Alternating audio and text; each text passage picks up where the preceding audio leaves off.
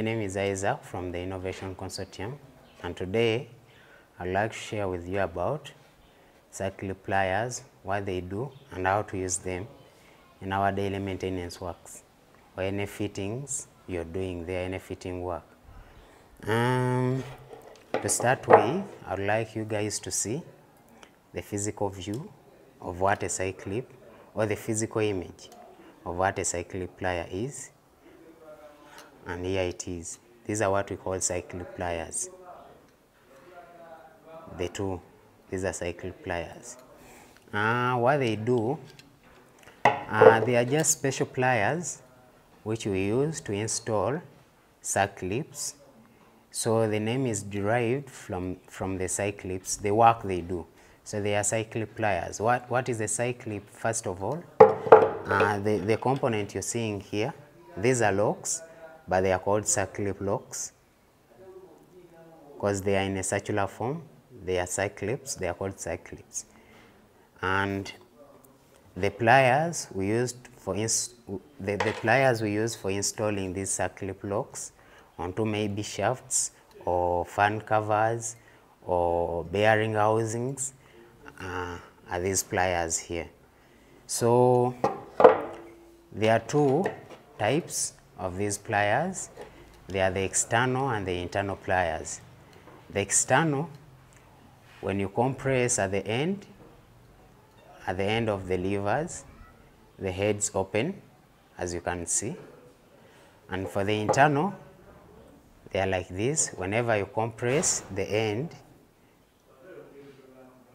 the heads close, as you can see. For this one, when you compress, the heads open. These are external. For the internal, when you compress, the heads close, as you can see. So basically, when I have my circlips, as you can see here, this is what we call, this is the, the external circlip. So whenever I place the heads, you can see these two rods, they enter inside the holes, as you can see. As you can see, when they enter inside, when I, when I compress these two levers of the pliers, you can see it widening. It's in a spring form. It widens and it comes back. So after reaching the slot of the shaft or the housing or the bearing housing, when you press it widens, then it, it contracts or, or it goes back to its normal position to lock any, any, anything you're, you're trying. It could be a bearing, it could be a gear on the shaft, it could be a sprocket on the shaft. So whenever I compress, I widen, then I push it on the shaft, then I release, it goes back to its normal position, then it locks inside the groove of the shaft uh, to lock maybe the, the pulley, the sprocket onto the shaft. There is another one, the external. So for the external, remember we said whenever I compress at the end, the gap decreases and when it decreases, as you can see there is a gap, but when I compress, decreases, then there it means the size of the diameter has decreased, so I can remove it out of the, the bearing housing or anything or any casing, I can remove it out, and after removing it out, I release, goes back to its normal position. The same and vice versa, if I'm just fitting it in, I compress, as you can see, I compress, I push to maybe the bearing housing, then I release, it enters the grooves of the seat inside the bearing housing. So basically, these are the two, the two main types of circlip pliers. Take a physical example of how and where we use these circlip pliers. Shall take a closer look. This was a lobe pump, uh, but it's having uh, a circlip over here onto the shaft part of it.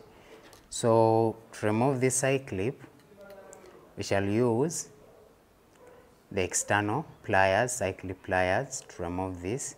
So as, as you compress, it will be widening. When it widens, you fit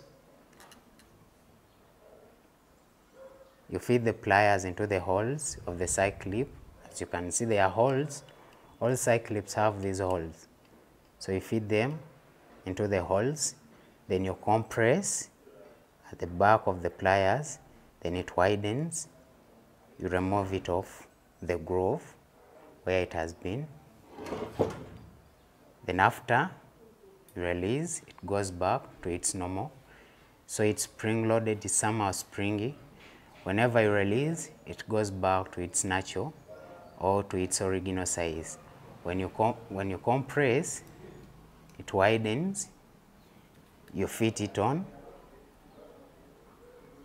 into the lobe, you release, it fits into the groove.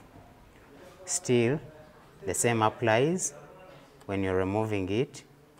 When you compress at the back, you're widening them for the external type, basically. When you widen, when you widen, you're removing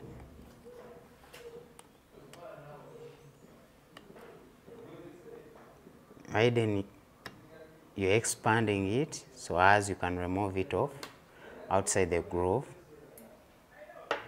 then you can remove whatever you're removing from this lobe either bearing or anything.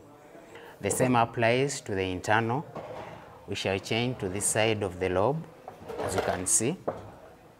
This end there are bearings as you can see. This is a bearing housing.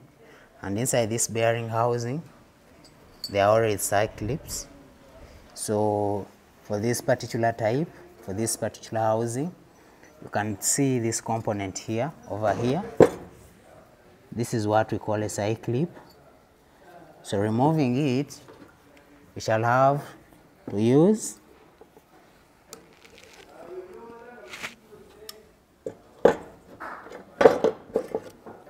the internal circlip pliers so we push them inside.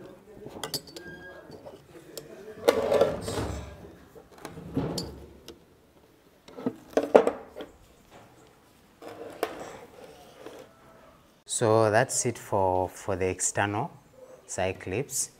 We use this very type, the external circlip plier. When you compress, it widens at the heads. And for the internal, when you compress,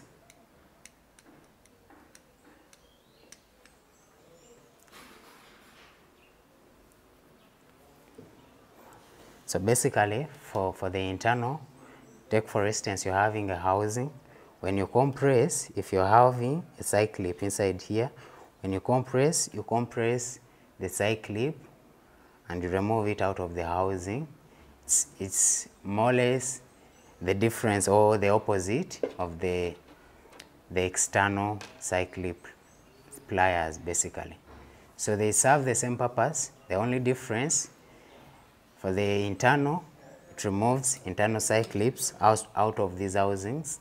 And for the external, it removes external circlips of the shafts, uh, of rods, anything, any fittings basically. As we had explained earlier on, so circlips are just locks uh, on maybe exhaust shafts or bearing housings. So we can take a physical view of this gear train we are having these external circlips. Why we call them locks? When I pull out this gear, when it, when, when it reaches this circlip lock, it will stop at the circlip lock as you can see. We are taking a physical view of where circlip locks are applied or where we use them. As we had said earlier on, it's in the bearing housings or on axle shafts or on drive shafts any any any drive mechanisms or any bearing housings, it's where you find these circlip locks. So to take a, a physical example, we're having this gear train of a lathe machine. As you can see, we're having this external circlip lock. So we're having a gear. So when I push it or when I pull it outwards, when it reaches the circlip lock, it won't get off the shaft, but the circlip lock will act as the stopper where this gear will be stopping. The same applies to this. Uh, the same applies to those circlip locks in the, in the bearing housings or on the fans or on the shafts, anywhere. So the only difference is some are external, some are internal. If I want to remove off this one, I'll have my external circlip pliers. I place it into the holes, then I compress, it widens, then I remove it off the shaft. If I'm installing it, the vice versa, I widen, then I push it onto the shaft.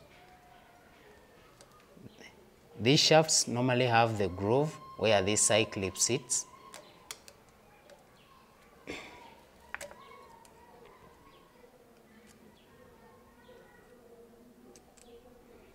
I widen, then I push it to the groove.